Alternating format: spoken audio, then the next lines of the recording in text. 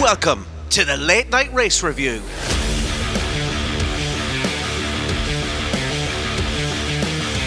We are back for 2023. In today's podcast, we talk about the preseason testing. We give our predictions for the entire season, as well as our predictions for the Bahrain GP next week. Will Dave's love for Mick Schumacher continue now that he's a reserve driver for Mercedes? Is Isidro's voice still as sexy as it was last year? The answers to these questions and more coming up. Don't forget to support the podcast by hitting those like, follow, and subscribe buttons. Welcome back to the Late Night Race Review for season two. We had planned to be a, a video podcast, but we broke many, many webcams in the process. Um, our ugly faces are not ready for video just yet. So we're audio only this week and we, we will have it sorted pretty soon. Dave, how do you feel about being on the cusp of the world seeing your face?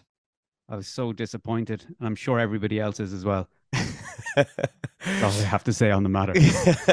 well, I, I, personally can't wait uh, for the world to see the beautiful face of Isidro Gonçalves, who joins us this evening. Isidro, how are you? You and me both. The Just sex appeal today. of the podcast is going through the roof.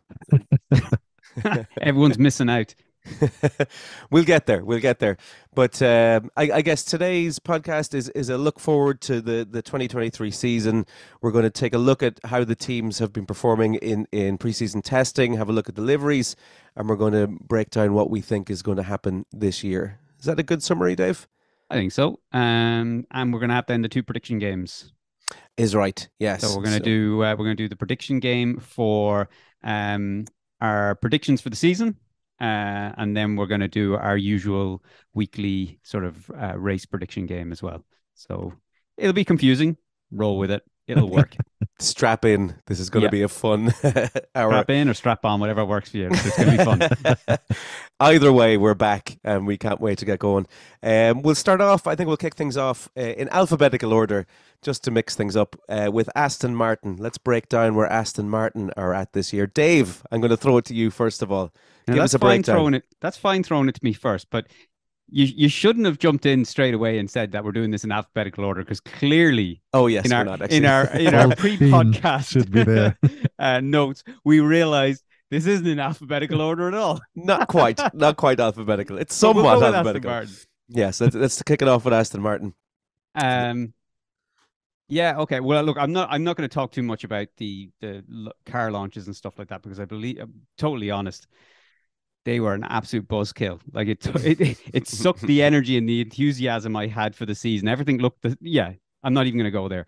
Uh, let's let's roll on to the preseason testing. Um, I think these are these are the dark horse for this season is Aston Martin. Um, not for title, but for that midfield battle. I'm really looking forward to seeing what they're going to do. They they've sort of the development of the car like they've complete like they've been working on this a long time. They've really evolved this car completely um, taken a lot from Ferrari, Red Bull, um, and but not complete copies. They they've sort of put their own twist on things. Um, so they're really giving this a go themselves. Possibly they've also spent a sizable chunk though. Looking at the development work they put in, they could have spent a sizable chunk on their development and their their um, wind tunnel time as well. So might be a bit concerned about that how it leads to um, sort of future development throughout the season yeah, they, they look good in testing, stable. Alonso look quick. Um, I think, like I said, I think it's they're they're one to they're one to keep an eye on. Yeah, I I heard people saying that this weekend that it, it could be finally that Alonso has made the switch at the right time to the right team. And if anyone's going to pull the performance out of that car, it's going to be Fernando Alonso. So, yeah, yeah watch this space. I'm looking forward to for, for next week's race on that one. Yeah, I give up. Well, we have let's let's talk about the the lineup procedural. We have Stroll, Alonso, and uh, we've had Drugovich uh, in testing because of a, a, a sickness. Uh, Stroll was. Uh, a sickness, accident. Yeah, yeah sickness because he decided accident. to cycle his bike to school. oh, is that what it was? Sorry, apologies. So Stroll was injured, not sick. I thought it was a sickness. Um, this time last year, I think Aston Martin had a similar thing with Vettel. Am I wrong? Yeah. So, Cedro, what do you think of the lineup this year, Alonso and Stroll? I think uh, Alonso will have a very good advantage. The fact that Stroll is missing this testing, it mm. means that Drugovich has been a very good work in the car. Stroll he doesn't have experience. It will take a few races before he can see what's what needs to change in the car, how to adapt to things, and that will cost Aston Martin a few points. I'll say they are very strong this year, but the fact that Stroll is not there, it's only Alonso that's pushing all the changes. So definitely Alonso will be much more up to speed. Even though it's a new car for him, he'll be doing much better than Stroll. Yeah. I, I think we all know where everyone stands on this one. But Dave, I'm going to throw it back to you in terms of Alonso versus Stroll. Who's coming out on top this year? Lance Stroll. now talk no. about a spanner in the works. Lance Stroll on his bicycle. Um, no, no. Of course, it's going to be Alonso is going to come out on top, and uh, Stroll uh, will be kicking up the rear as the as the number two. But yeah. I think he, like, again, we said it last season. Lance Stroll has is has proved himself a good driver and deserves his position on the grid. I think so, um, but he's just not at the caliber of Alonso. No, definitely not. Isidro, what do you think? I hate to say this, but Scotty was right. Yeah, of course I'm right. Hulkenberg, he raced the first two races. All right. yeah, he had COVID, I believe, wasn't it? Uh, but on the uh, Aston Martin, yeah, Alonso will be definitely uh, leading the team to the middle field position. Yeah, yeah. Uh, yeah, I think we're all in agreement there. We can we can move on from from Aston Martin, uh, and next in our none what alphabetical uh, order, AlphaTauri with uh, Yuki Tsunoda and Nick De Vries. Dave, go on. Oh, you're going back to me again. All right. Yeah, I'm going to start off with you. Okay. Um, Okay, let's start with the car first. Um, there, I mean, th- this will be an unusual, or not an unusual one. This will be an interesting one because their their their focus was on sort of on their um on the aero was you know their you know their focus for um their goals this year was going to be on the aero, and from what we've seen from testing, it looks like they sort of have addressed a lot of that.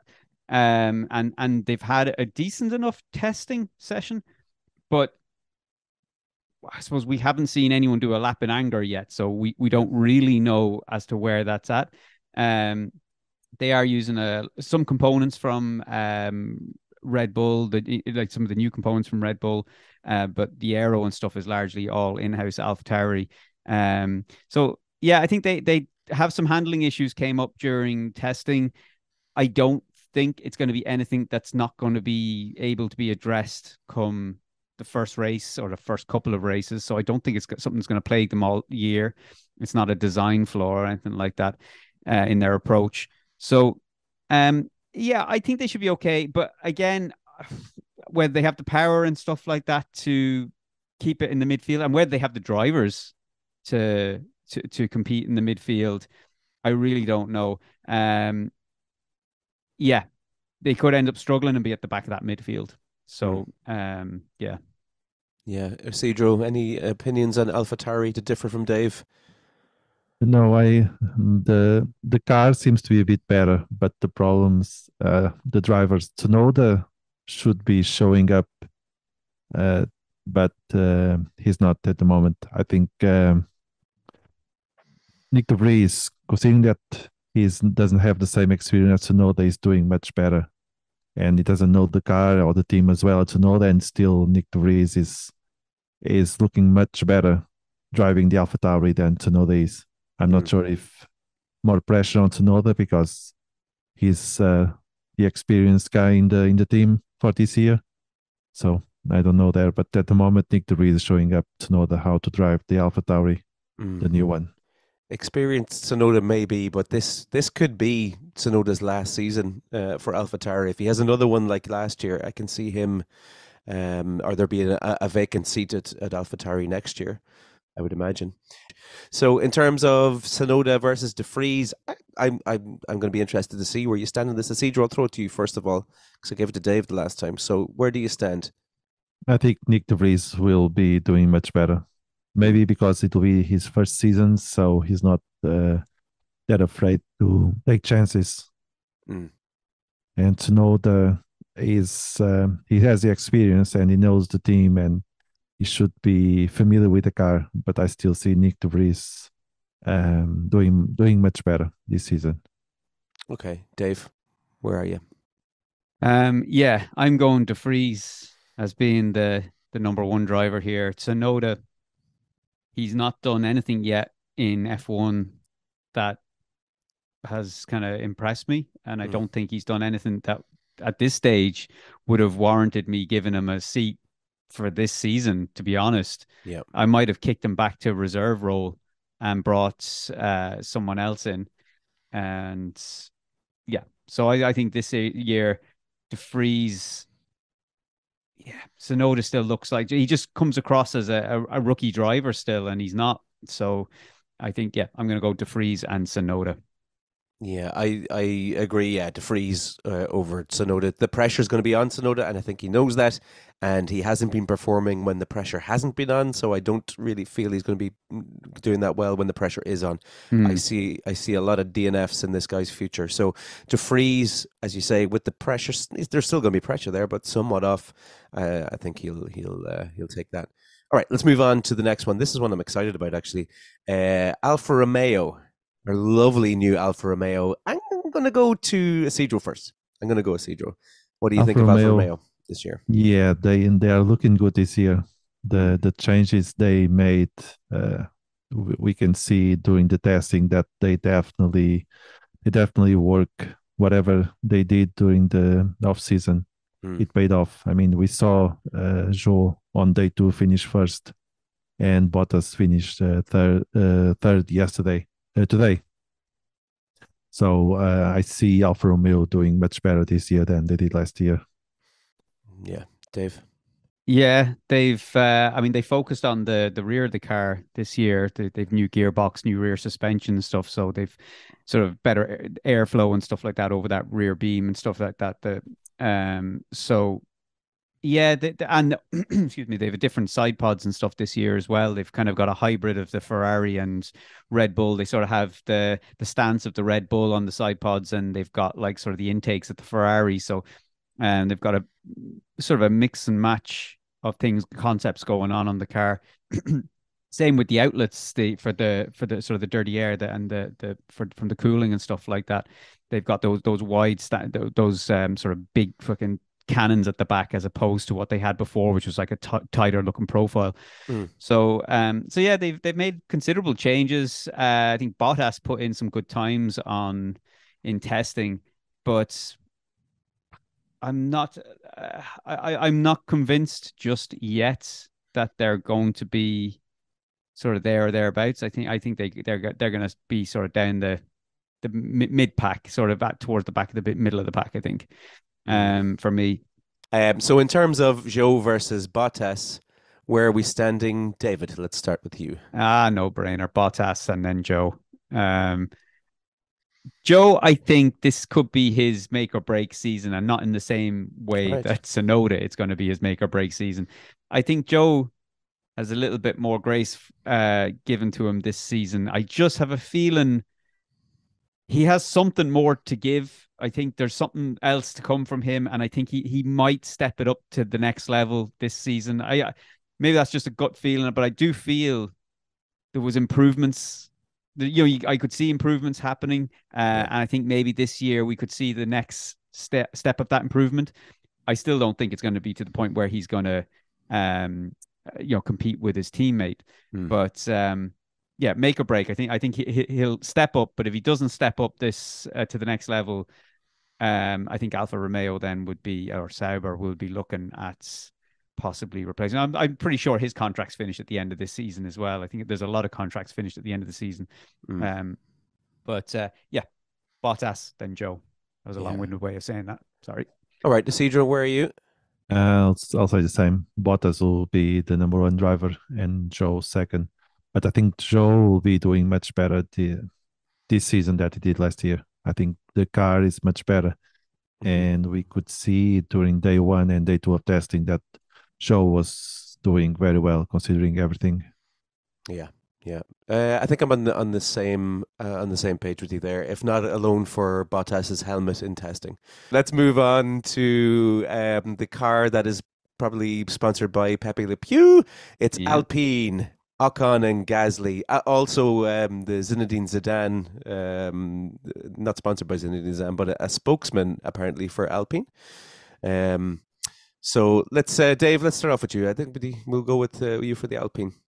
Yeah, these are going to be uh, an interesting one to keep an eye on because I think they their focus was on reliability for sure for this season. And I think that was fairly evident in the the preseason testing. They kind of didn't really open up the car to its full potential in any shape or form, I don't feel. And so I think there's a lot more to see from that car. Well, there's a lot more to see from everybody's car, but especially Alpine. Um, they look like you know they they've obviously set set out their pre-testing program they completed it, and the car didn't blow up. So thumbs up for Alpine.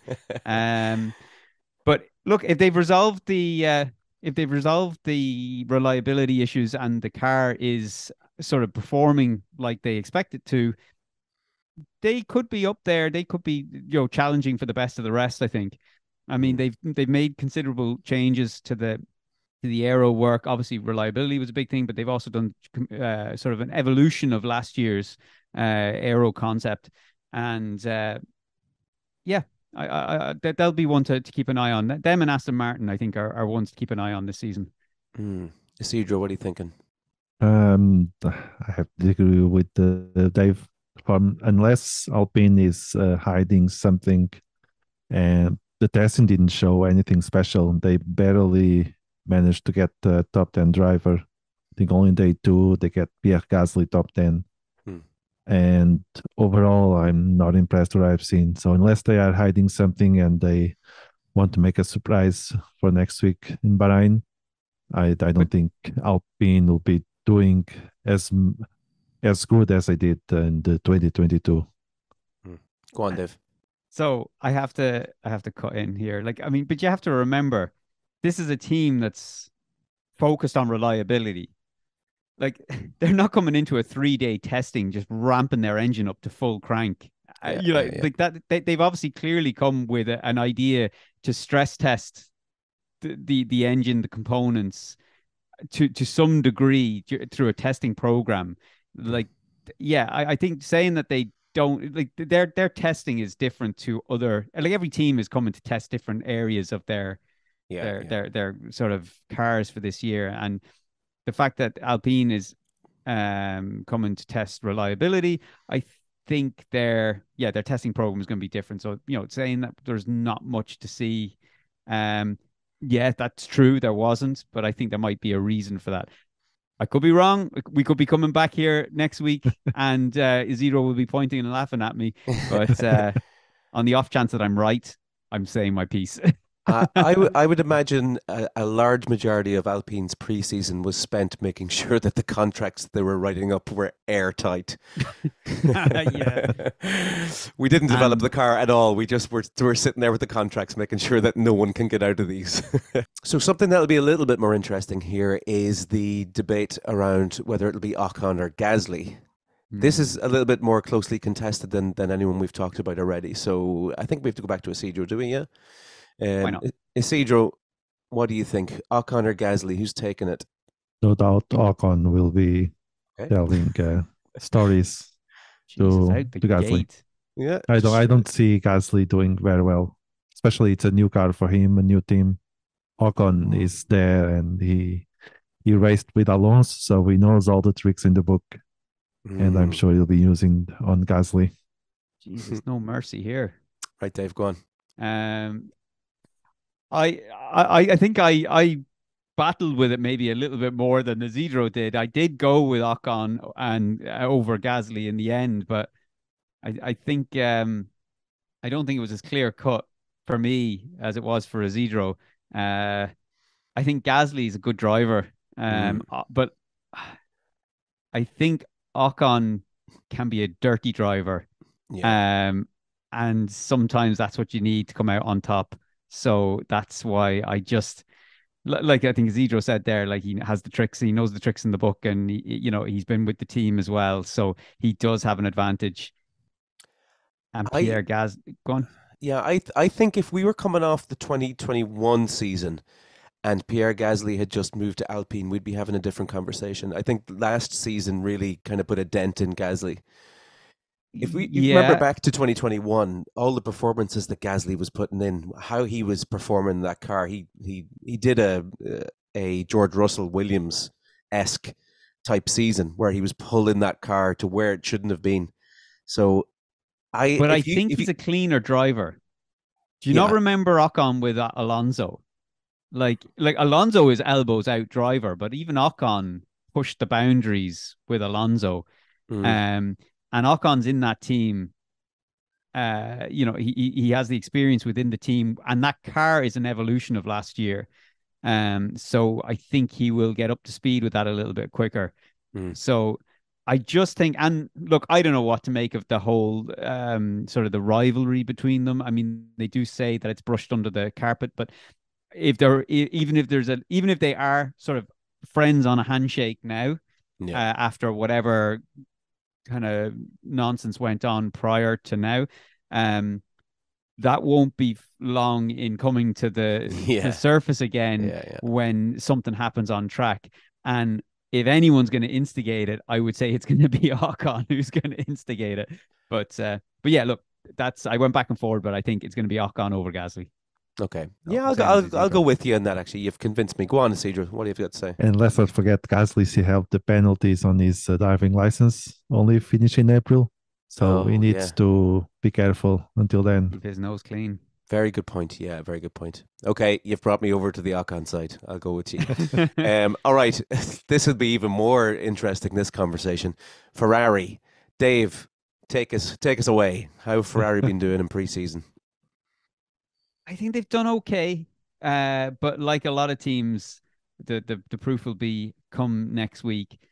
Um, they've stuck largely with again the same car as last year. I mean, there, there's if you were to sort of glance at this year's car, there's nothing really obvious that stands out other than obviously the livery has a little bit more. Again, even Ferrari stripped back paint to Yeah. go with uh, sort of bare carbon, but um one of a couple of the issues that Ferrari had last season was the drag on the car, which we saw on tracks that were kind of you know with a lot of straight lines, a lot, of uh, straights, um, required a lot of top speed and stuff like that. The drag on the car was just uh, a hindrance to them.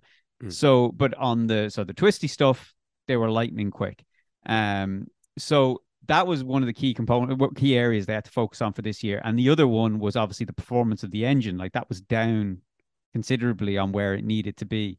So there's a rumor that, ga- that that gained a lot of ground, which said that they've solved the issue with the power unit and that it's outputting about 40 horsepower more for this season. Uh, unverified rumors, but they they have gained sort of more mainstream media traction. Uh, it's been announced, you know, it was being discussed on Sky Sports and a few other outlets. So if they've done that, if they've reduced the drag as well, which according to old uh, Fred, they uh, they have, then they're they're certainly going to be up there competing with for with uh, Red Bull. I, I mean, they they know that car well. They they've made some adjustments to or some improvements. They've added. There's been a return of the S duct, which to to pull that airflow in and, and, and down into those big gullies of the in, in the side pods um to to help the airflow and stuff like that. So there's a few sort of enhancements to their design that they went with or the concept that they went with last season. Mhm. but the big thing i think will be just down to those two components whether they've reduced the drag and they have um sort of turned up that be, being able to turn up that engine reliably Oh, that's it. Okay. what, Um, what, what else do you want me to say you yeah, want me to no, just I here, do you you want me to crack out a diagram here? Hang on a second, let me get my Um, PowerPoint presentation out here and I'll go through. Te- team principle changing, I thought might have come up, but okay, we'll we'll throw it over to Isidro and then we'll have a little talk Jesus, about I can't cover everything. Isidro's there waiting to have a conversation here. Right, go on, Isidro. Go on. Well, I have to say that Ferrari was the the only team actually doing a proper presentation of the car. Mm. They didn't just uh, went to a studio and show the car.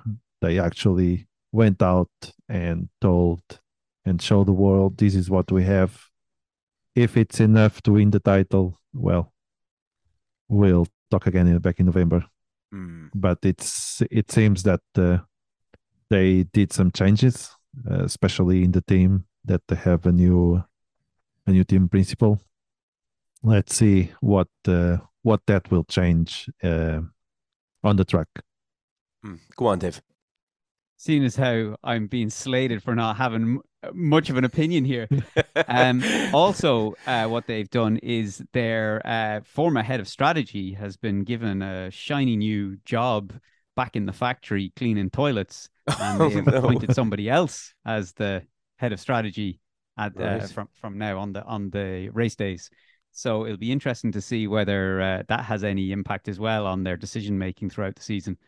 Yeah, well, I mean, they had to do something. That was ridiculous last year. Comical, Yeah. But I mean, look, think of it this way: that car last year was good. Like I know it Yep. didn't, it underachieved if you took the whole season, but that was largely down to again those three three things: the strategy, the the drag on the car, and the having to tune the engine or t- tone the engine down because of reliability.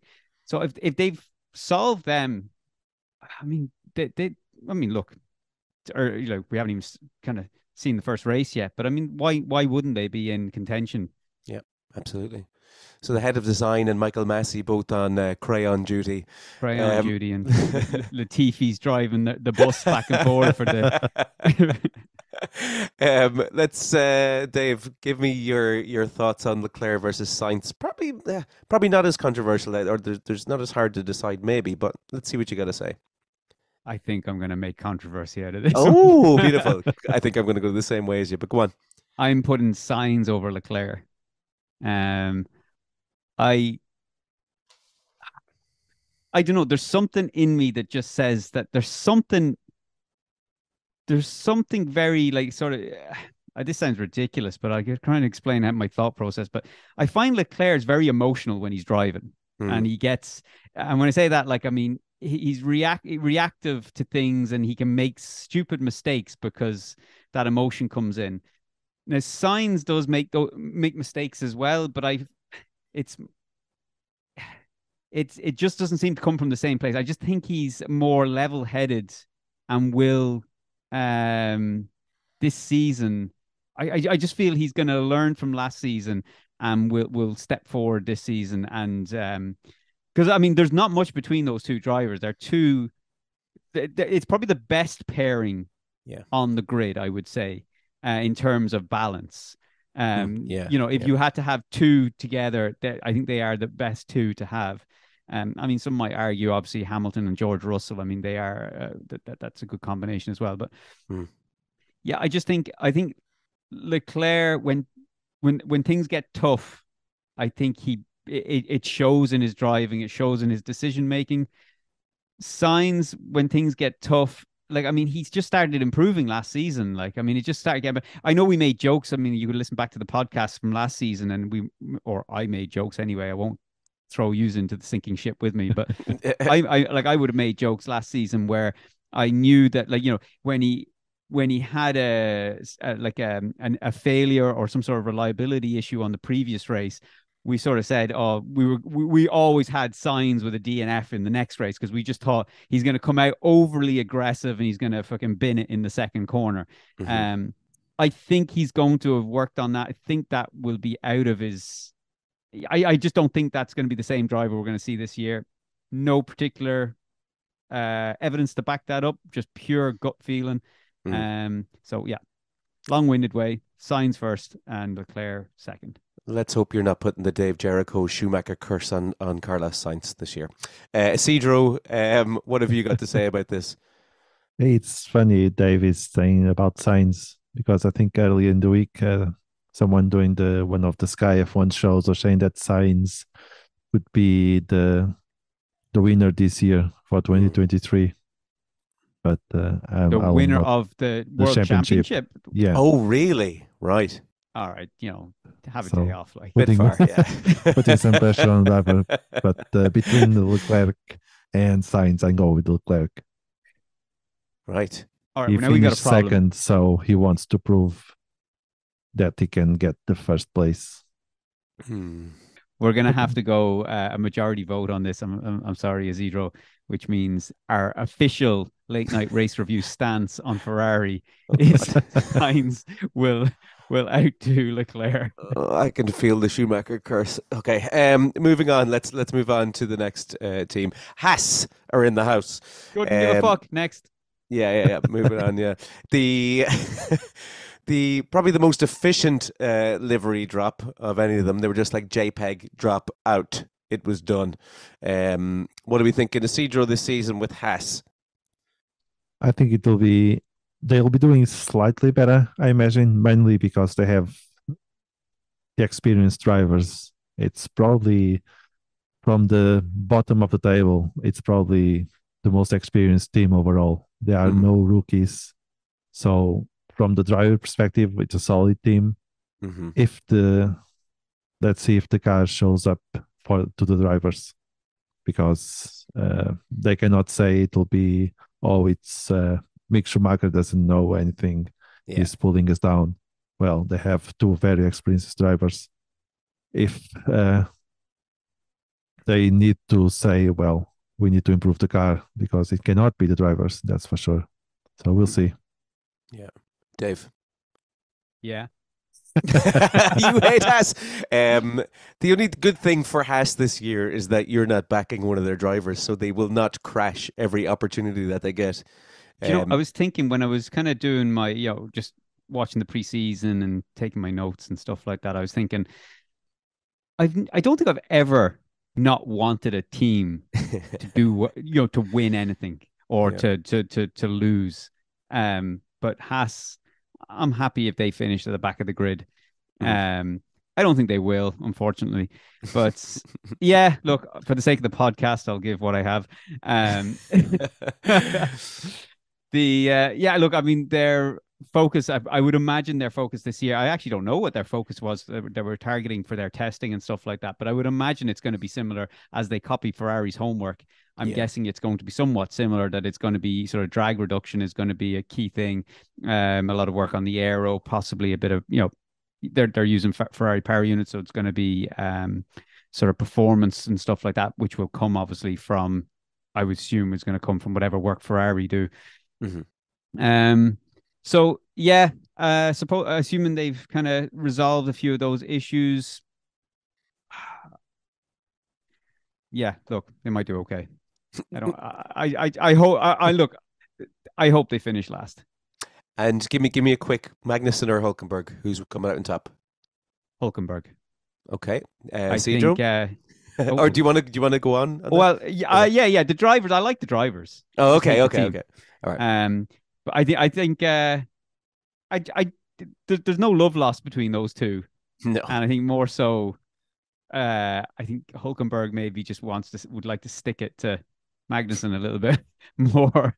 So uh, I just think maybe yeah, Hulkenberg might just be a bit more uh, ruthless on track. And Magnussen, he goes through moments where he does some brilliant driving, uh, where you're like, wow, this is this is a driver that's you know has something.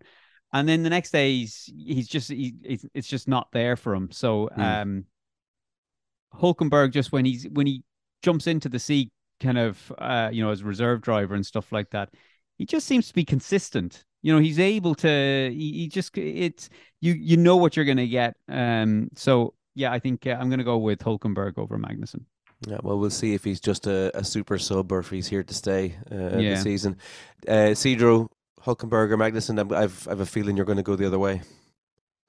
Uh, I was at the beginning, but uh, I think I agree. Hulkenberg will be will be the one, especially the experience and the amount of. Um, I mean, Kevin Magnussen, he's been with his team and he knows the car. Hulkenberg just uh, is the first time, but still he has the experience, much much more experience than Kevin Magnussen.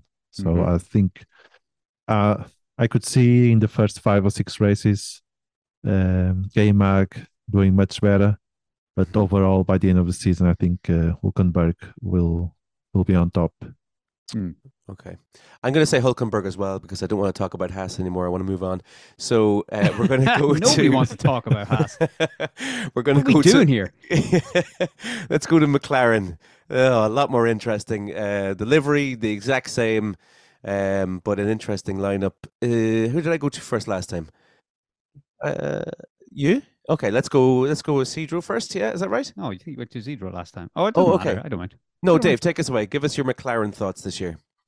Uh, these guys are in trouble. Oh, interesting. Like, yeah, that this car is not working for them at all. Like, they've they've done a complete shake up to sort of they basically copied. Well, I won't say they've copied hundred percent, but they they've they've taken a huge portion of the RB18 Red Bull car from last year uh, for their concept for this year. Mhm. Um, they're just it's just not working for them. They have issues. It's um, yeah, I think they're in trouble. And you saw now. I know it got blown out of proportion with uh, something your man Will Buxton said about Lando Norris. You know, oh, Lando Norris punched the wall. I don't think he did that. I think he just he, he smacked the wall or something in frustration. But that Mm. was at the end of the third day of testing, and I have a feeling. Just I saw the interview as well with uh, Lando did with Ted Kravitz on one of the notebooks or something like that. Now, look, Ted Kravitz would irritate a saint sometimes at the best of times, Yeah. but and but usually Lando Norris is very cheery and and is happy to roll with the punches with with Ted Kravitz and the jokes and stuff like that. But this time he cut him short. He just wasn't feeling it. Like cut him short was a bit ratty with him and just kind of you know cut him short and stormed off. Um, which I think came after the slap in the wall or whatever he did. So I just have a feeling he's not happy with that car at all, at all. Um, I have seen a few reports um saying that they they they are having trouble getting to grips with the car. There's a few reliability issues as well. Um, so uh, yeah, I I think yeah, I think they're in trouble. Uh, and it'd be interesting to see then what happens, not just from Lando's side of things, because obviously this is going to be a completely different car for him to drive, even though um he, he was kind of saying that it's as skittish as last year's car. It's still it's a different approach. Mhm. Um, so it'll be interesting to see how he handles it. Uh, But of course, this will be geared towards him. It'll be designed towards Lando. Um, with so it'll be interesting to see whether Piastri then can sort of come to grips with that, or will he have a Daniel Ricciardo moment where Daniel was kind of complaining that the the car didn't favor him in terms of its driving style and stuff, similar to what Perez had at Red Bull. Yeah. Um, it, it didn't necessarily suit his style. So I think possibly though, after say, in saying that, I do think maybe Piastri probably has a better chance of coming to grips with it than uh, Daniel Ricciardo did because I mean he's a rookie driver.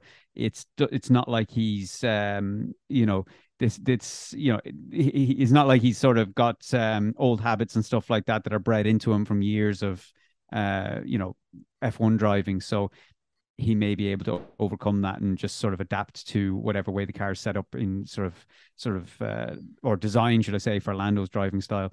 But yeah, they're in trouble this year. It it just doesn't look like it's going well for them. I don't think they're going to necessarily be at the back of the grid, but certainly for the first uh, good kind of, I'd say the first quarter of the season, I think they're going to struggle to get on top of that car. Mm. Similar to what they had last season as well, if I remember. Yeah, I know they do. They have a major upgrade planned, I think, for Baku. I think it's about the fourth uh, race in. I think is Baku. Right. Um, so, and I believe it's like a like it is a huge update, like a complete uh package. Like so, we'll see what happens after Baku. But that's you know, I think up until then that they could have four painful races or three painful races. Yeah, that's pretty comprehensive. Okay, Cedro, where you go? I think the Papaya team uh, made some improvements, but I don't think they are there yet. And with the new, not new, new team, one rookie driver and one experienced driver, both young drivers. So I'm not sure if they will be able to to have the car ready just right now. And would you favor uh, Norris over Piastri or Piastri over Norris? What do you think? I'd go with Norris. Yeah. The experience is there, Dave. Yeah, I'm saying gone with Norris over Piastri. Uh, I mean, I don't think there's any Yeah. Uh, but I don't think that's going to be anything against Piastri. I think he's going to, he'll probably, I, I'm expecting him to have a good rookie season. I think he's just a phenomenal driver, well deserves his place on the grid. Um, but look, Lando's experience now in that car or that team and uh, in Formula One in general. So a lot of teams coming out and saying that they would have loved to have had Piastri on their books. I, I saw in Drive to Survive there that that uh, Christian Horner was saying that they had a chance to sign Piastri and they're kicking themselves that they didn't at the time. So was Alpine one of them? Yeah. Okay. Um, yeah, I'm gonna go Norris as well there. Yeah, no, no, uh, no hiding that. I'm an I'm yeah. a Norris fanboy. Um, let's move on to the sexiest livery that uh, is on the grid this year. It is Mercedes. Isidro, we'll kick it off with you. Mercedes this year. What do you got? I I I like the new livery. Oh, they are no longer the silver arrows; they'll be the black arrows, but they look very very good. Mm. And I think the changes they made are still not there yet. I think there was a few issues after after the after the first day or just after the presentation, but they definitely they they definitely improve from last time. We could see that uh, Hamilton is doing much better on this new car, so I'm I have doubts that Russell will be able to to do as he did to do what he did on the previous season. I think Hamilton is doing much better, and he will definitely be a, a, a much more uh, will be a much more in lead than he was last year. I I think. Mm. Dave. Yeah, I sort of agree with uh, Isidro as well. Um, it's fantastic looking uh, car. I'm kind of glad they went back to the black um, car. I just think it looks much better. Yeah, everyone is. The, I mean, they've seemed to have resolved the porpoising issues. I don't know whether that's just down to work that they've done or whether it's due to the 15 mil ride height increase in the regulations, um, or a combination of both. Um, I'm sure that though I'm sure there's going to still be tracks where that you know a bit of porpoising might sort of crop up. Uh, but Hamilton did then come out after the kind of the testing was finished on the final day of testing and said that there is issues that were there in last year's car that are still present in this year's car. So, and I'm not sure where I saw the interview, whether it was and, and who was, but I think there's kind of they're not expecting to be challenging for the title. I don't think this season, um, which that Ferrari or not Ferrari, Mercedes are awful good at playing that game. Yeah. Now we thought they were playing that game last year as well. Yes. It turns out no, they weren't. They were just in a really bad spot. They're being honest. They were being honest, yeah. But I mean, there's I remember there was years, and they were. Do you remember they they were just saying, "Oh, we're struggling. We don't think we're going to make it." You know, blah blah blah blah blah.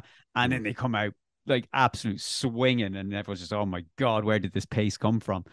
so I don't know. There might be a bit of that. There might be a bit of that kind of sandbagging and just kind of not kind of showing their hand which I I really hope that's the case. Um, they said there's major upgrades upgrades coming for Imola, uh, so that's uh, going to be in six races time.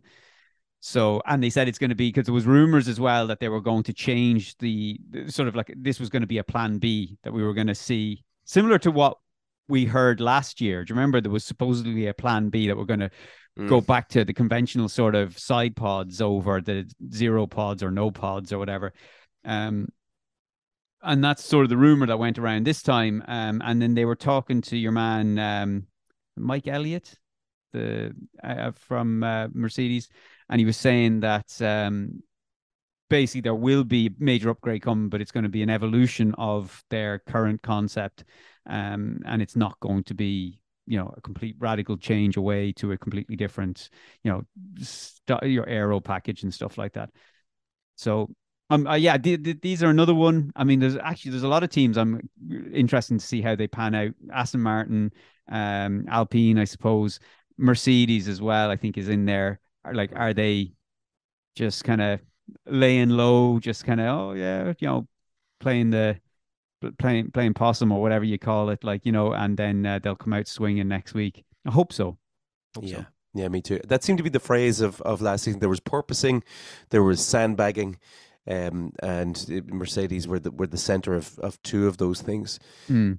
I would I would love, to, and I said it I said it last season as well. I would love if uh, Mercedes were to be in the mix there because that's what we need is is three teams up there. And near the end of last season, they were in there. Yeah. So if they can continue work from where they were finishing off last season, I think they'll be in a good place. Um, Hamilton over Russell, Dave, where do you stand? Oh, I mean, it's clear. It's going to be Hamilton and then Russell. Yeah, yeah. I, don't need. I do. I need to justify it, or no? I don't it, think so. It's as clear as it. I think we're all on the same page there. Cedro, do you think? Yeah, Hamilton yeah. over Russell. Yeah, yeah, we're yeah. all on the same page there.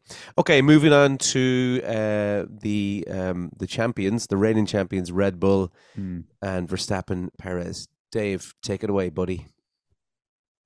There's not much to really say about Red Bull. I mean, they sort of got the car perfect last year, or as close as they could, and this mm-hmm. year it's sort of, it's like the RB18 plus, you know, as, yeah, as opposed yeah, to uh, the RB19. They just sort of made uh, improvements to what they had last year, and like if you look at them side by side, the improvements are very marginal from um, sort of the the, the the covers and stuff that, that that are there so the engine covers the side pods and stuff like that mm-hmm. Uh, with a lot of these cars like a lot of the work is probably being done on the floor of the car the underneath because that's obviously where a lot of the downforce is coming from and I would imagine uh, we're not going to see that until we see the first car getting craned off and we get some photographs of the underside of the cars. But each one of these, each one of these teams would have probably spent a lot of time uh, working on the floor of their car, especially the fact that there was the regulation change to the 15 mil. So I wouldn't be surprised if Red Bull have put a bit of effort into their, uh, or you know, I'm sure they've put a lot of effort into their their their minor adjustments to the last car, but I'd say there's a lot of work has probably gone in on the floor as well. Mm-hmm. And like they had look, they had comfortable testing. They know the car. There was no re- real reliability issues even when you saw the that high vis the airflow paint that they put on uh, i mean it, it was perfectly smooth. You could see that the, the paint was going exactly where it needed to go. There was no splashes you know yeah. flicking up anywhere. It was just perfect.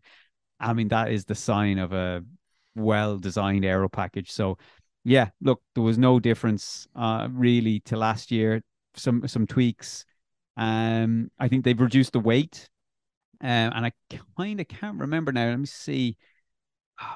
I did read what, what, what they one of the key areas they they did to reduce that weight, but I just can't think of it off the top of my head. But they've reduced the weight, so they are underweight, so they'll be using ballast this year. I think most teams are going to be using ballast this year, which gives them the opportunity to move that around on the car and stuff like that, to probably for different tracks and stuff like that. Mm-hmm. So, uh, yeah, I I look. What's what what more is there to say? Like that's uh, they'll be fairly solid straight out the gate. They've got a leg up on everybody pretty much. Yeah, and uh, it was interesting to see that Verstappen, when asked at the launch, you know, what do you think of the car? He was like, well, you know, why why would we change a winning car? Yeah, What's, why would we do that? Especially when, same. yeah, there's no major regulation changes to sort of require you to completely overhaul your car. Like the only people that have overhauled their cars are the people that didn't have the or the teams that didn't have them working last year. Yeah. So yeah. if you've got a working car last year, you're hardly gonna you know, a dominant car last year, you're hardly gonna scrap it and start a whole new concept. Yeah. So makes sense. Yeah. All right, Isidro, what do you think about Red Bull? Anything to add there? Well, it's clearly the the same car as last year. I mean, they even changed the livery. It's still the same. They mm-hmm. probably fired the design team to save cost for this year, and they just used the same uh, the same JPEG, and that was it. Uh, it, I'd be interested to see if the reduced wind tunnel time and the, and the cost cap in place, if that will affect them all. Do, do you think that will have an effect on Red Bull this year? It seems they are the only ones who didn't went with a carbon approach, so they definitely have something uh, not hiding, but they know something because every other team went with carbon that just keep everything the same. Mm-hmm. So they have very confident on what they have. Okay, Dave. Yeah, just when you were saying there about the uh, the the wind tunnel time and stuff like that having an impact, just what we were saying earlier, like about the the the, the very minimal changes to from last year's car. Like they effectively have all their uh, uh, like a lot of their wind tunnel work done on the car from you know last year. so now they're just sort of any wind tunnel time that was used was sort of for any sort of you know minor adjustments to that car so i really don't and maybe that i don't know whether that was intentional or whatever but um it may that that that penalty may not impact them hard at all yeah So the lesson is uh, spend as much money as you want, break the cost cap, and just, you know, it, there's no effect on you whatsoever. get as many sandwiches in as you want um, is there any question here of Verstappen, Perez, uh, who's going to come out on top? No, not not really. one No, it's I think max we're- and Perez Yeah, yeah, we're all in Yeah. agreement there. Um, all right, let's take it to our last team of the day, Williams. Looking a bit more interesting uh, than last year. Cedro, kick us off with uh, your thoughts on Williams this year. Well, the first thing I have to say is I like the Duracell sponsorship. place, Everyone the- does. that little- I think that was genius. Whoever Yeah. thought about that. so clever. Uh, the car itself, I think they definitely improved since last year. With the the testing has been proving that that both Albon and Sargent are doing good in the new car. hmm So I'm looking forward to see uh, Williams doing much better than they did last year. I mean, they only got eight points. I'm sure this year they they'll be doing much better than that. Even though they have a rookie on the on the seat, I think between both uh, and the new Williams, we can expect a few good things. Yeah, Latifi gone has been a, a massive bonus for them. Dave, what do you think? Uh, yeah, I'm looking forward to seeing how Williams fare this season. They've, the, yeah, they've they've got taken a new approach. The, their car is sort of like a Frankenstein's monster of a car. It's just sort of pieced together from, uh, you know, what they can find off other cars. Um, Mhm. certainly, if you see a side by side or side on view, side by side with say Red Bull, for example, there's definitely more uh, notable kind of um, or noticeable similarities with Red Bull, but definitely there's other cars in there as well that's um that they've sort of uh leaned towards. And and maybe it's not a bad idea. I mean, they've they've gone with stuff that's already proven to work. Sort of, I think what McLaren have tried to do. Um, clearly their car didn't work last year. Same with uh, Williams. Clearly their car didn't work last year. So let's sort of just harvest from someone else's sort of work what did work um, and sort of, you know, sort of put it into our own car. And it seems to be, um, it's not a, it does, I, I'm not going to say it's going to be a particularly fast car, or I said, should I say, I don't think it's going to be a particularly fast car at, from the get go anyway. But I think what they have maybe demonstrated a bit from testing is that it's definitely more stable um, and not as skittish as, say, the McLaren, who have a similar approach in terms of just, you know, completely scrapping and, and, and going again. So I think they've got a good platform to start from. And I think maybe they can build on that throughout the year. Uh, I'm not sure what sort of funds are available and what sort of packages they're going to be able to do in terms of upgrades and stuff like that.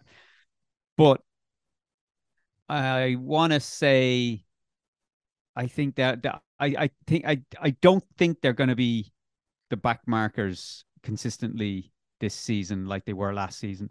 I think they will see a, they'll still be down the back. I, I mean, I don't think this is going to be a this isn't a silver bullet they've just got here.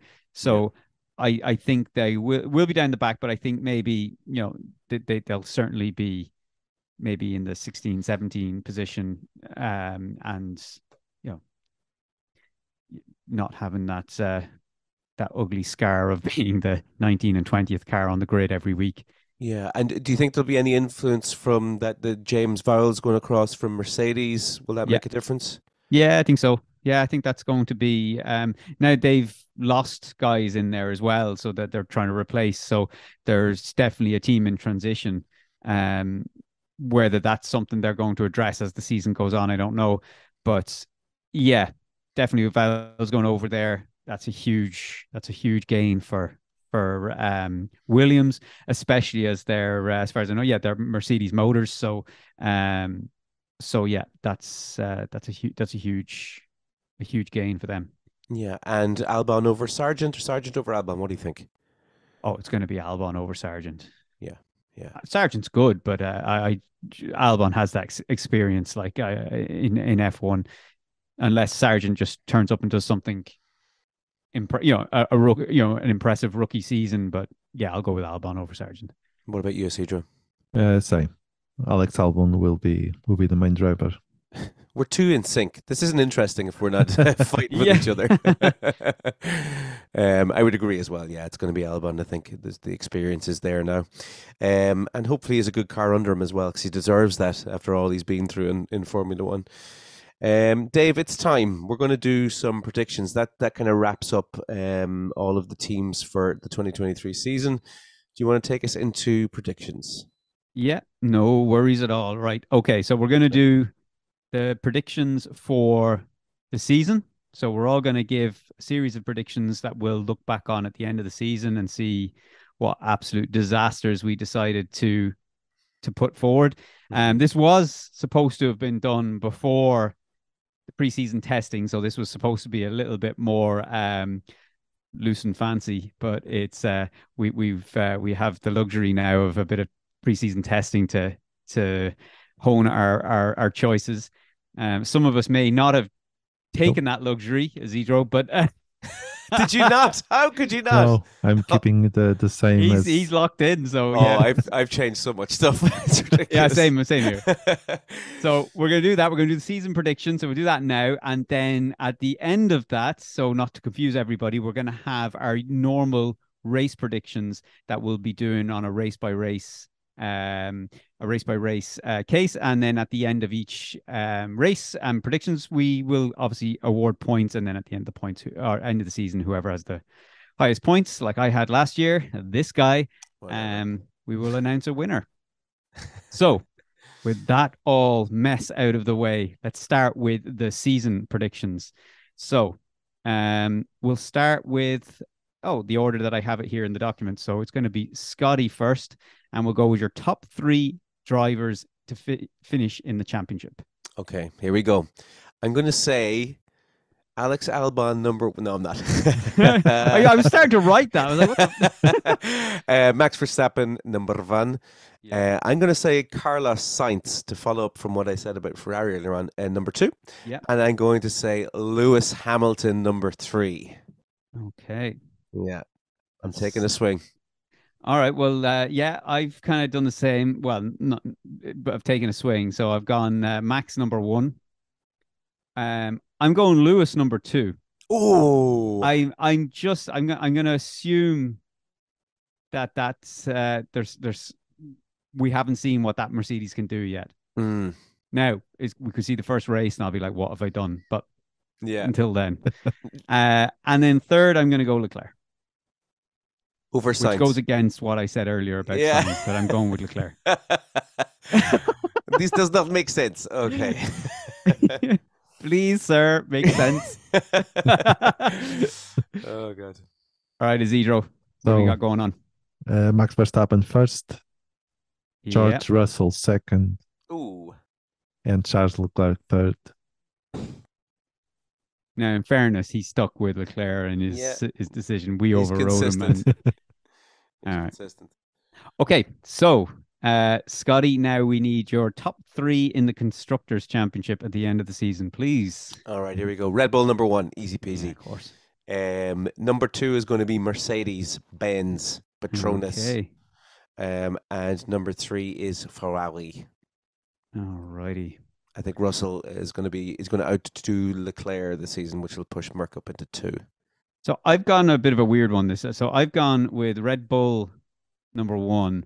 Number two, I've gone with Ferrari.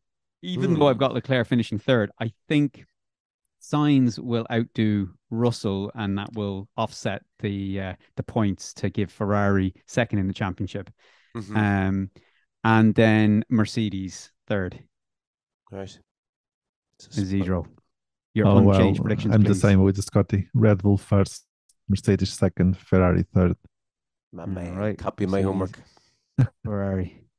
Okay, so driver with the most DN. Excuse me, got too excited. Driver with the most DNFs. This was so easy for me. So easy. Yuki Tsunoda. Big year.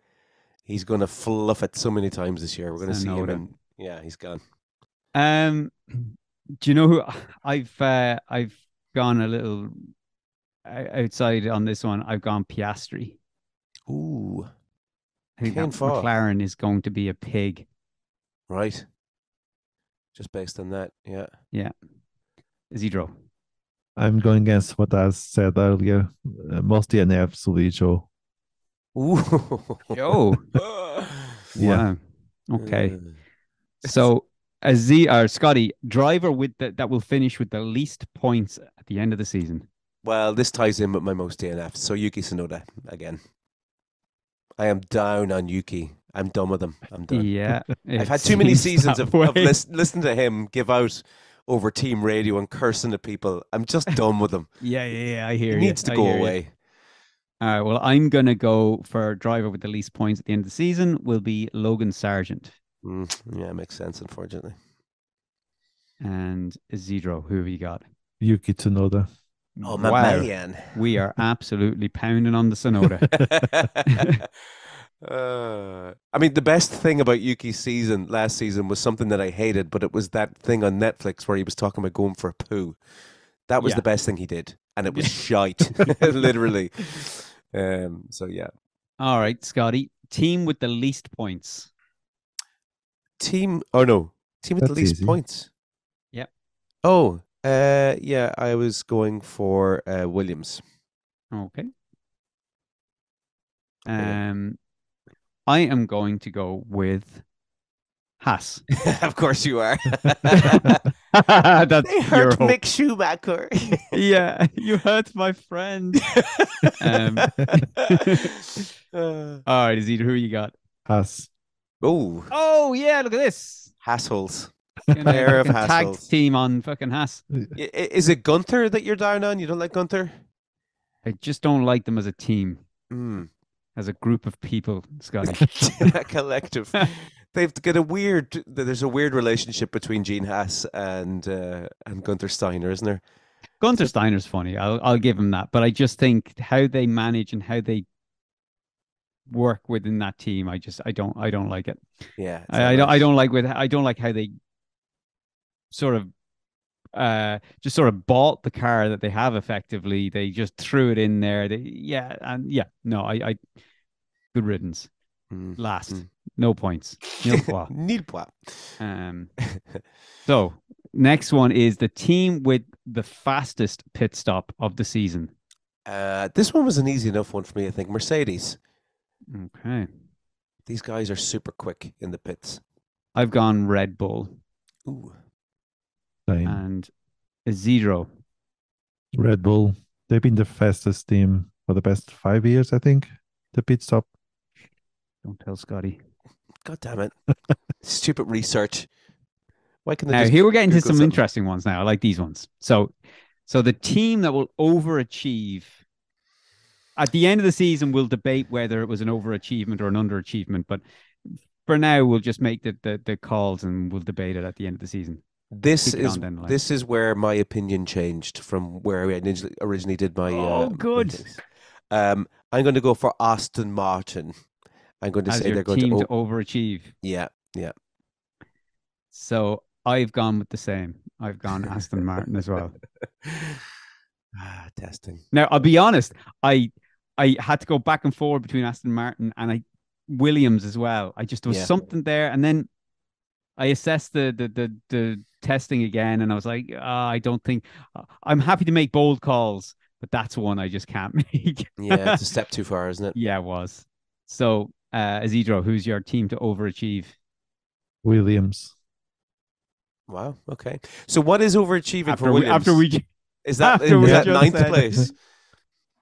Um, I know, like that, that's what I said. I think at the end of the season, we'll sort We'll of decide then. look at where they finished, and then we'll have a debate about whether that was an overachievement. So, for example, if Williams were to finish, say, fifth in the constructors' championship or Yeah. sixth, even, would be like, do you know what? That was a good overachievement. But if they finished eighth, we'll be like, Yeah. nah, you're not getting No. that zero.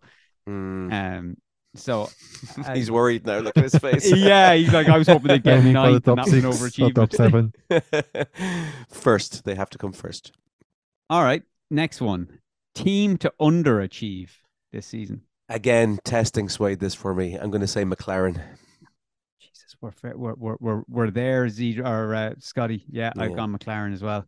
Yeah. What's underachieve in, the, in this scenario? Well, that's the same as the overachieve. We'll debate it at the end of the season, but I mean, if McLaren just finished last in the constructors, we're pretty sure that's a bad season. Yeah, yeah, yeah.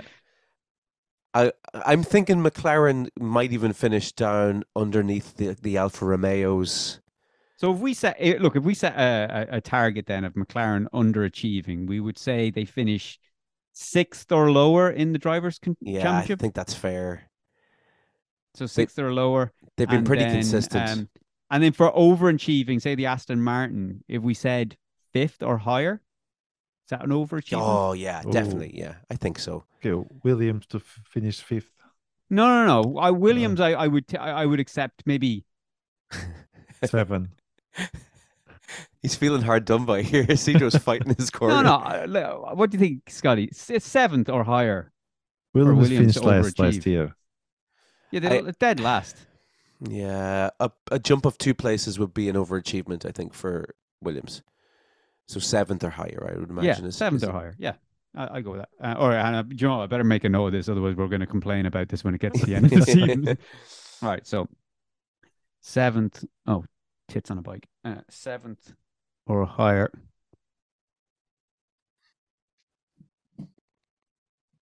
Helps if I can spell higher. There we go. Okay, Aston Martin. We were saying what fifth or higher? Yeah. fifth or higher.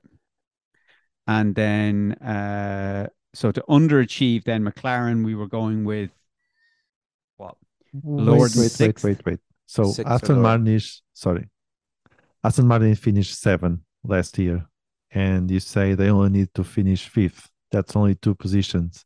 But Williams Mercedes finished ten, and you want them to jump three positions Yeah, to seven. but you have to understand the difficulty of the jump. That, that that's like kind of saying I'm taking two steps at a time, but then we have to take three steps at a time. Like like Aston Martin, once you go above fifth, you're now into Red Bull, Ferrari, Mercedes. Um, who else Al- are you gonna have in there? Alpine. Alpine, you're gonna have in there. Like McLaren. if you're gonna say that they have to finish fourth, I mean that is The- that's big. It's that's a miracle. Like that's that's Yeah, but like that's I not mean, happening. Let's be honest. well, it could, it could. Hmm. I don't know whether I'm going to stake my bet on it, but uh, it, it could. Like, I- I'm happy to go with fifth or higher. I do think Williams, it's more achievable at the bottom of the grid to go up to seventh and make a bigger jump than it will be for Aston Martin to get in the mixer of those bigger teams. Well, I'm just looking at the points. Yeah. Alpha Tauri finished with 35. Haas finished 37. Then on seven, it was Aston Martin with 55 points. Hmm. Can Williams do 55 points in a season? Hmm. Oh, look at you. And I'm the one saying they overachieve. Okay. Seventh or higher, I think, is absolutely perfect. I, I, I, I think we've locked it in. I think that's. I, I, Let's let's revisit uh, at the end of the season and, and, and we can have a debate about that again. All right, Uh, but I've I, I've written it Yeah. down anyway, just as our starting point of debate. Yeah, yeah, makes okay, sense. let's, let's come All back right, so to the team to underachieve McLaren, what we saying? They have to finish what sixth or lower? Is Sure. That, like, where did they finish last season? Fifth. Fifth. Fifth. Maybe only you might have to say seventh or lower. Yeah, that's, that's that's that's hard. I mean, will they finish seventh? I I know I've put them down as Well, uh, as- they finished fifth with 159 points. In six was Alfa Romeo with 55. So they finished with over 100 points. yeah, okay. So sixth or lower then. Yeah, yeah. yeah. That's that that would be bad. Sixth or or lower. Okay. All right. So now is zero. Finally, we're getting to the who's your team to underachieve? Aston Martin. Well, that was clearly that's your decision before you saw all the. Okay. Wow. Um. so what's so for underachieving for Martin Aston to Martin? Underachieve. Where did Aston Martin finish last season? Seven. And so, if they're going to underachieve this year, where are you putting them? Uh, maybe And don't forget, they can still finish. You can still say seventh because I mean, based off the package that they have, like That would it be would be the underachievement. Of, Yeah. It's not based off last year, but just want to they make you should feel bad about stay, your choice. they should keep the seventh place at least. Okay, so They seventh or finished lower. with the same on- number of points as Alfa Romeo in six. So Yeah, you would so imagine seventh or be- lower. That they'd be would be a from bad. there. yeah, All right, Scotty. The last one uh, before we move on. Name one strange thing, or start that again. Name one strange thing to happen this season. I love this pick, and I I know someone else is going to love this pick as well. My strange thing that's going to happen this year is Danny Ricciardo on a podium. On a podium. that's a level up on the Stranger Things. Now- obviously with Red Bull, Uh, yeah, yeah, yeah. Fair not just standing on a podium. I, I believe that he's going to be there. yeah, he's just handing the trophy to Perez. Uh, Um, yeah. All right. Well, the the strange thing I had to happen was Mick Schumacher Oh. to finish on a podium. Oh wow. Obviously with with Williams, I was about to say. Obviously with Mercedes. wow. Yeah. Yeah. Yeah. Both. I both are quite possible. In fairness. Yeah, like it only takes uh you know one of them to ride their bike to work and join Lance Stroll on Yeah. the on the sofa. And then you're given Danny Ricciardo or Mick Schumacher one shot to perform in one of those high Oh yeah, performance it's, cars. it's a one time deal. Like you get one You're race, you nailing have, that to, you have thing. to finish third. yeah. But like I think both of them. Look, it's it's pla- plausible. It's plausible. You just love Mick Schumacher. You wanted a chance to even to say his name. Love him, love him. I'm going to be saying his name all season. He's the he's the only reserve driver that's going to get so much hype on this podcast. All Oh, right, funny. Isidro, what do you have? Mine is similar to Dave, but not as not as uh, high hopes. Mine will be just Mick Schumacher to race in See, that means I 2023. love Mick Schumacher more than you do. Mm, it is, yeah. I'm willing to put him on a podium. Mm, All I mean, so you're going with Mick yeah. Schumacher to To basically to get a drive Yeah, at Mercedes. in, in Mercedes, or can he get bumped off to maybe McLaren? Williams? Can he? You can drive for Williams and uh, and McLaren as well. he, yes, and McLaren. He Sorry, was made available to McLaren, I believe. Mick Schumacher to get a to get a drive.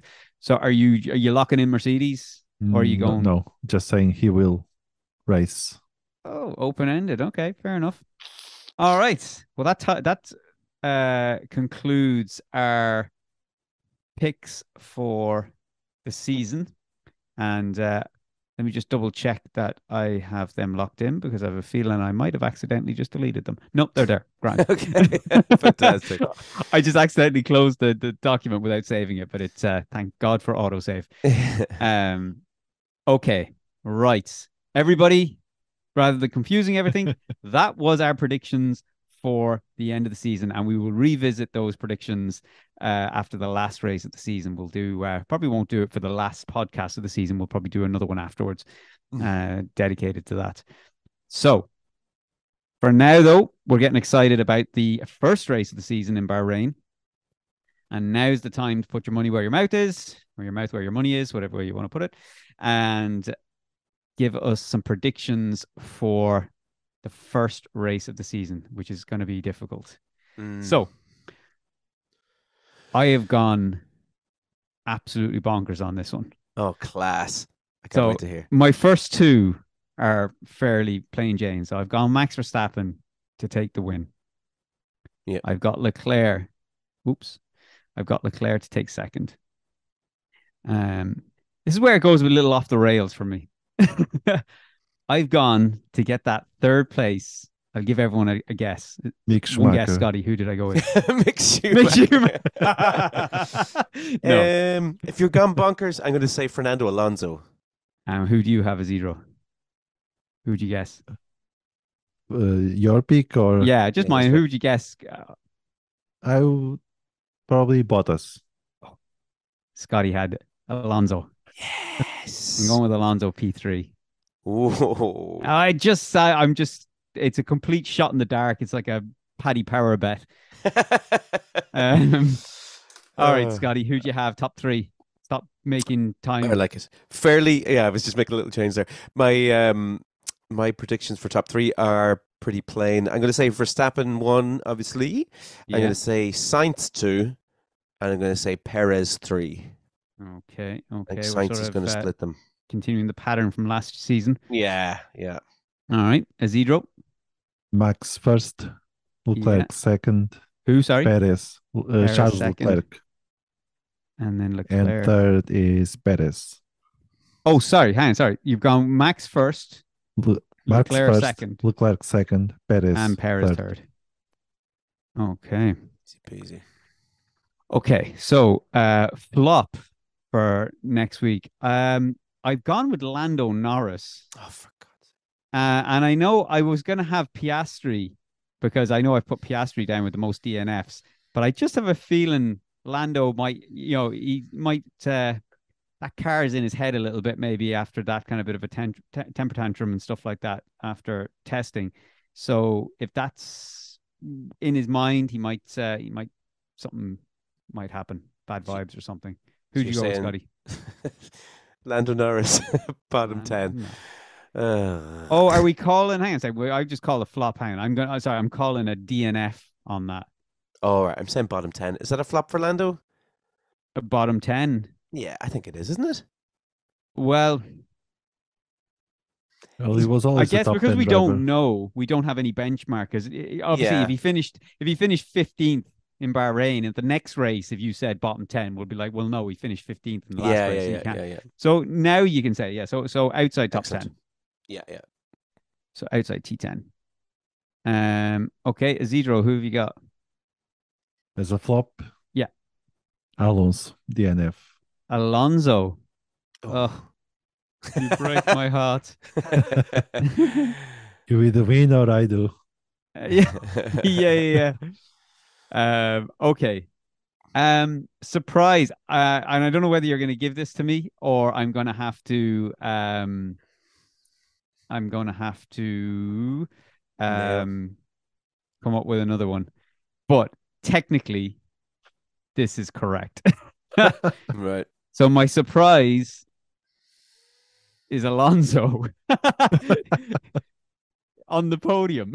Uh, well, I mean, it's the surprise, and I've and I've called him in my picks. yeah, I mean, yeah. I, if, you, I, if you could double or nothing, I suppose. yeah, Um. Okay. Yeah, I'll give you that. okay. Yeah, Now, I agree. I I don't I don't know if you're going to give me this because this was also my pick and I was going to change it but then I decided not to. But I'm saying Alonso P5, which doesn't come anywhere near your prediction, but Oh, mine's mental. Yeah.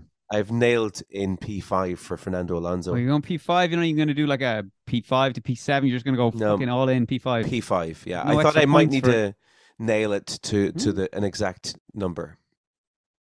I'm going to do that. Podcast could always use a hero. Yeah. P5 it is. Give it to me. all right, Isidro. My surprise will be Logan Sargeant top 10. That Hmm, would be a big. surprise. That is big. That's a that's huge. That that's up there with me saying Alonso top P three. Like, Wouldn't it be Sargeant. great to see Fernando Alonso on a podium? especially if it's the first race of the season, because it would get you pumped for the So rest beautiful. of the season. Yeah, yeah, yeah. It's class. Um, all right, well that's it. That's that's our uh, that's our picks locked in for next week, and I think as we have been on here for way over an hour, I think yeah. that's the end of our first podcast of the 2023 season.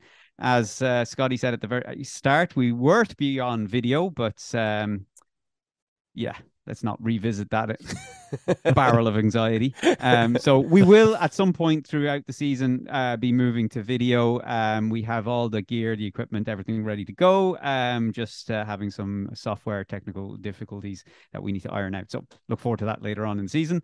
But Mhm. until then, we will see you for Bahrain next week. We will be recording on Sunday, releasing on Monday as always. So be prepared for that. And until next week.